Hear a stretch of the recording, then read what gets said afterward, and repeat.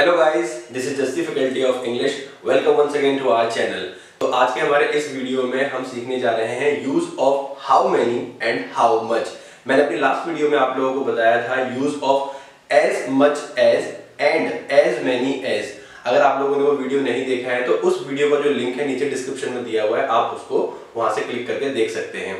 तो आइए आज हम सीखते हैं what is the difference between how many and how much there are three things which you guys need to notice सबसे पहली बात जो है हमारा, अगर हम बात करते हैं हाउ मेनी की तो ये हमारा काउंटेबल होता है। जी हाँ जब भी भी आप बात करते हैं, कितने और उस कितने के बाद चीज़ें अगर आपकी काउंटेबल होती है जैसे कितनी कुर्सियाँ, कितने लोग, कितने स्टूडेंट्स तो ये सारी चीज़ों को हम काउंट कर सकते हैं तो उनके साथ हमारा लगेगा हाउ मेनी तो पहला जो पॉइंट है हमारा इसके अंदर हाउ मेनी वो है कि हमेशा आप काउंटेबल चीज़ों की ही बात करेंगे। दूसरा जब भी भी आप हाउ मेनी का इस्तेमाल करेंगे तो उसके बाद जो भी आपका नाउन या जो आपका सब्जेक्ट हम जिसको बोलते हैं, वो हमेशा आपका प्लूरल लगेगा। ठीक है? जैसे लोग या फिर डे का यूज़ हुआ चिल्ड्रंस का यूज़ हुआ, इस तरीके से। थर्ड जो मोस्ट इंपोर्टेंट बात है हमारी कि हाउ मेनी के केस में जो हमारी हेल्पिंग वर्ब होगी, जैसा कि आप सब लोगों को पता है कि जो हमारी हेल्पिंग वर्ब होती हैं, वो टोटल थर्टीन होती हैं, अगर हम बात करते हैं प्राइमरी की। हमारी सेकेंडरी भी होती है, उसको हम मोडाल्स बोलते हैं। तो ये हमेशा हमारे प्लूरल ही लगेंगे।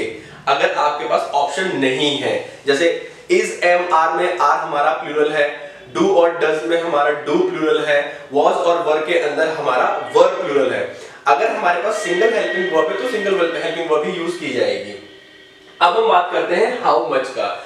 हाउ मच का भी मतलब होता है कितना, लेकिन ये हाउ मच जब भी भी आपका इस्तेमाल किया जाएगा तो उसके जो केसेस हैं, पहला तो ये है कि वो सारी चीज़ें अनकाउंटेबल होंगे, जिसको आप गिन नहीं सकते। जैसे मैंने बोला, कितना समय, कितना पानी।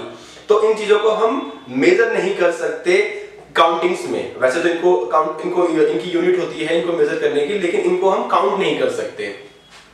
दूसरा, इसमें जितनी भी हमारी जो सब्जेक्ट्स होंगे हमारे या जो नाउन होंगे हमारे, वो सारे के सारे सिंगुलर होंगे जो हम हाउ मच के बाद यूज़ करेंगे।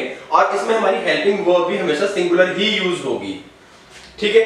इन दोनों ही केसेस में एक चीज़ जो सिमिलर है, वो ये है कि सेंटेंसेस आपके हमेशा इंट्रोगेटिव ही बनेंगे, क्योंकि आप किसी से कोई चीज़ पूछ रहे हैं। And whenever you are asking anything from anybody that your sentence is always interrogative fine आइए अब हम इससे कुछ एग्जांपल्स ले लेते हैं, जिसकी मदद से आप अच्छे समझ सकते हैं। कि हमारा हाउ मच और हाउ मेनी का हम यूज़ कैसे कर सकते हैं? So guys without any further delay let's take some example of how many and how much और उस एग्जांपल्स की हेल्प से आपको समझ में भी आएगा कि कहाँ कहाँ हमें अपने सेंटेंसेस में हाउ मेनी और हाउ मच का इस्तेमाल करना चाहिए। लेकिन उससे पहले मैं आपको एक फॉर्मूला बता देता हूँ, जिससे आप अपने सभी सेंटेंसेस को अच्छे तरीके से बना सकते हैं। तो रूल है हमारा यहाँ पर rule to make sentences of how many and how much सबसे पहले आपको क्या करना है? हाउ मेनी और हाउ मच में से कोई एक लगाना है। जैसे कि हम बात कर चुके हैं कि अगर काउंटेबल होगा हमारा तो हमें हाउ मेनी लगाना है। अनकाउंटेबल होगा तो हमें हाउ मच लगाना है।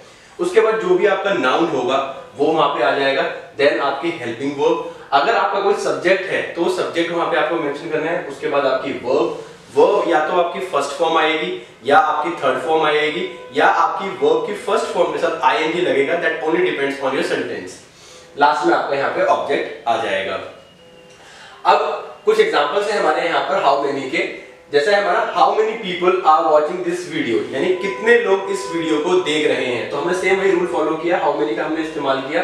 फिर हमने यहाँ पे अपना नाउन जो है वो यूज़ किया हमने पीपल उसका हेल्पिंग हमारी आ गई आर मैं पहले ही आपको बता चुका हूँ कि जब भी, भी हम हाउ मेनी का यूज़ करते हैं तो हमारा जो भी नाउन होगा या जो भी हमारी हेल्पिंग वर्ब होगी, वो हमेशा हमारा प्लूरल लगता है। फिर उसके बाद हमारा यहाँ वर्ब के साथ आईएनजी आ गया और हमारा ये ऑब्जेक्ट आ गया दिस वीडियो नेक्स्ट है हमारा यहाँ पर how many times do you speak English in a day यानी आप कितनी बार एक दिन में इंग्लिश बोलते हो?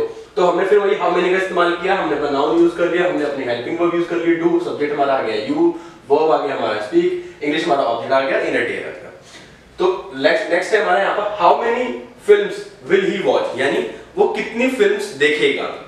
तो इन सभी तीन एग्जांपल्स में हमने देखा किस तरीके से हम काउंटेबल चीज़ों की बात करते हुए अपने सेंटेंसेस को बना रहे थे। अब हम मूव करते हैं एग्जांपल्स ऑफ़ हाउ मच अब हाउ मच के अंदर हम हमेशा क्या करेंगे? अनकाउंटेबल चीज़ों की बात करेंगे। तो how much does he earn यानी वो कितना कमाता है? और पहले भी मैं आपको बता चुका हूँ कि पैसे की बात जब भी, भी हम करेंगे तो हमेशा हमें मच का ही इस्तेमाल करना है। अगला है हमारा how much milk does he drink मतलब वो कितना दूध पीता है? अब नेक्स्ट है हमारा इसमें how much will it cost to me यानी ये मुझे कितने का पड़ेगा? यानी मुझे इसके कितने पैसे देने पड़ेंगे? सेम फॉर्मूला हम फॉलो करते जा रहे हैं। हमने हाउ मच का पहले यूज़ कर लिया अपना। फिर जो भी हमारी नाउन है, वो हमने अपना नाउन यूज़ कर दिया। फिर हमारा हेल्पिंग वर्ब आ गया सब्जेक्ट आ गया, फिर हमारी वर्ब आ गई है। लास्ट है हमारा यहाँ पर how much money has he saved यानी उसने कितना पैसा सेव किया हुआ है। तो इन सभी एग्ज़ाम्पल से आपको ये समझ में आ गया होगा कि हमें हाउ मच अनकाउंटेबल के साथ लगाना है और हाउ मेनी हमें काउंटेबल्स के साथ लगाना है।